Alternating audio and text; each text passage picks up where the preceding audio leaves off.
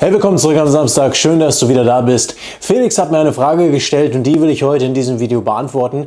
Nämlich hat Felix mich gefragt, was er denn machen soll, wenn eine Frau mit ihrer Freundin unterwegs ist. Und das ist ein interessantes Thema, denn rein statistisch gesehen sind natürlich oft Frauen mit ihren Freundinnen oder ihrer Mutter oder ihrem Vater oder vielleicht sogar einem anderen Mann unterwegs. Und wenn man da nicht genau weiß, was man machen soll, dann kann man eben nur die Frauen ansprechen, die alleine unterwegs sind und verpasst viele, viele Gelegenheiten. Also, was ich dir zuerst mal sagen möchte, ist, dass ähm, wenn es mehr als zwei Frauen sind, ist es eigentlich relativ simpel. Der Vorteil ist nämlich dann, dass die anderen Frauen sich miteinander unterhalten können, während du mit der Frau, die dir gefällt, sprichst. Das heißt, wenn sie nur zu zweit unterwegs sind, dann will natürlich die eine Freundin nicht die andere Freundin die ganze Zeit stehen lassen, während sie mit dir redet. Und das ist ein kleiner Konflikt. Wenn die aber zu dritt oder mehr sind, ist das schon mal kein Problem mehr. Das ist schon mal praktischer. Was ich immer mache, um diese Situation noch angenehmer und einfacher zu machen, ist, dass ich einfach neben den Frauen hergehe. Das funktioniert perfekt, perfekt für Frauen, die zu zweit unterwegs sind. Ja, wenn es mehr als zwei Frauen sind, kannst du theoretisch die ganze Gruppe anhalten und dann können die restlichen sich miteinander unterhalten und du sprichst mit der Frau, die dir gefällt. Wenn die nur zu zweit sind, dann gehst du neben der Frau, die dir gefällt, her. Also du hast links vor dir eine Frau und rechts und nehmen wir mal an, die links gefällt dir. Dann gehst du neben die Frau von links und fängst von da aus im Gespräch, im Laufen ein Gespräch mit dir an. Ja? Oder du gehst nach rechts, wenn die Frau rechts dir gefällt. Und der Vorteil ist, dass du dich dann nicht mit der anderen Frau entweder links oder rechts auseinandersetzen musst, sondern mit der Frau sprechen kannst, die dir wirklich gefällt.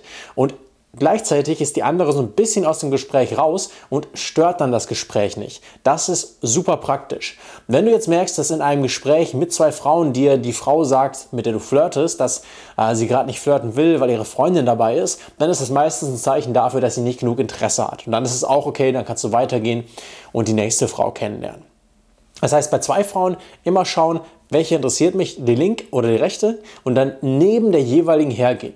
Bei einer größeren Gruppe von Frauen kannst du die ganze Gruppe anhalten und dann einfach mit der einen Frau sprechen, die dir gefällt, und normalerweise werden die anderen dann einfach miteinander reden. Du kannst auch bei einer größeren Gruppe nebenher gehen und dann von nebenher mit denen sprechen. Natürlich, wenn es dann dazu kommt, dass die ganze Gruppe dir zuhört oder so, wenn du redest, dann macht es auch Sinn, ab einem gewissen Punkt sich auch vorzustellen. Ja, nimm die ganze Gruppe oder bezieh die ganze Gruppe in das Gespräch mit ein. Das heißt, mach Witze und schau dabei die ganze Gruppe an, sodass die ganze Gruppe darüber lachen kann. Und frag nicht, was machst du hier, sondern was macht ihr hier. Konzentriere dich aber danach wieder auf die Frau, die dir gefällt. In den meisten Fällen wirst du wahrscheinlich weniger Zeit haben, mit der Frau zu flirten, wenn du mit einer größeren Gruppe flirtest, weil da können viele Dinge passieren. Die eine Frau will weiter, die andere Frau muss pinkeln gehen und alle müssen mit.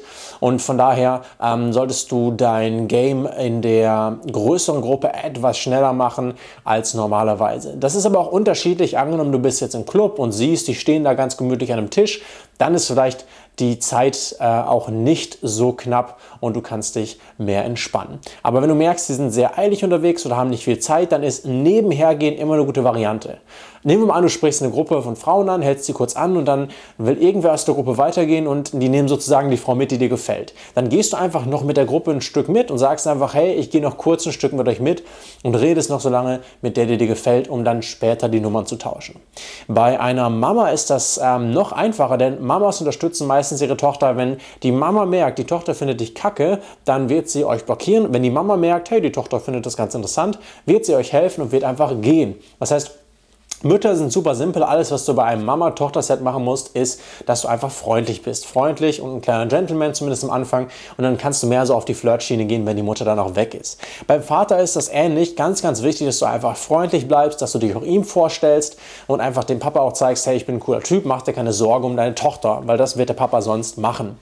Wenn du eine Frau siehst, die mit einem Mann unterwegs ist, dann ist sie entweder mit ihm zusammen, wenn sie zum Beispiel Hand in Hand gehen oder sich küssen, das ist dann ja sehr offensichtlich, oder sie sind vielleicht vielleicht nur Freunde. Was du machen kannst, ist, dass du einfach mal ein Stück hinterher gehst und beobachtest, wie verhalten sich die beiden miteinander, wie nah gehen die aneinander.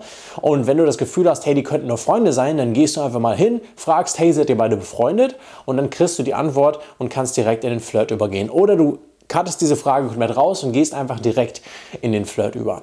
Das heißt, wenn es zwei Frauen sind, und das war jetzt spezifisch deine Frage, Felix, dann einfach bei zwei Frauen wirklich neben der einen hergehen, die dir gefällt, dann sprichst du ja auch nur mit der einen, weil die andere ist dann ja auf der anderen Seite von dir, mit der hast du dann ja auch gar nichts zu tun. Es ist also wie ein Gespräch mit einer Frau.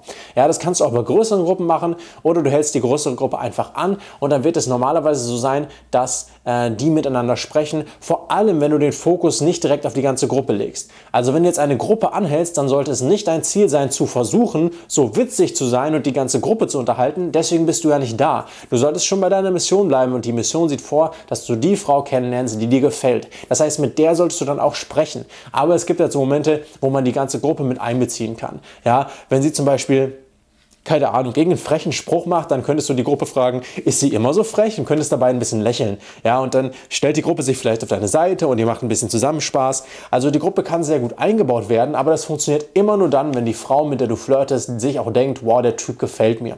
Und das merken die anderen Frauen. Ja, andere Frauen in der Umgebung der Frau werden immer wissen, ob du ihr gefällst oder nicht. Da haben die einfach ein Gespür für. Das ist der Vorteil der Frauen, den du aber auch bekommen kannst, wenn du sehr viel flirtest und sehr viel in sozialen Situationen unterwegs bist. Ich hoffe, ich konnte dir weiterhelfen, Felix. Schön, dass ihr alle da wart. Uh, unten in der Ecke kannst du das Quiz machen, wie attraktiv du auf Frauen wirkst. Dort kannst du den Channel abonnieren und dort geht es zu einem Video, das dich wahrscheinlich interessiert, hier auf diesem Channel. Wenn du mein Buch noch nicht kennst, kann ich dir das nur empfehlen. Die Zeus-Methode, deine echte Männlichkeit. Da lernst du, wie du deine Männlichkeit aufbaust und Männlichkeit ist der endgültige Schlüssel dazu, erfolgreich mit Frauen zu werden. Denn männliche Attribute, männliche Eigenschaften sind attraktive Eigenschaften. Wie du das aufbaust, zeige ich dir in der Zeus-Methode. Den Link habe ich dir unten in die Beschreibung gepackt. Das war's von mir hier am Donnerstag. Freut euch schon mal, Quatsch, am Samstag. Freut euch schon mal auf das Video vom nächsten Donnerstag. Da werde ich wahrscheinlich wieder eine kleine Flirt-Analyse machen. Die letzte hat euch ja ganz gut gefallen. Freue mich auf eure Kommentare. Macht euch ein geiles Wochenende. Bis dahin, ciao.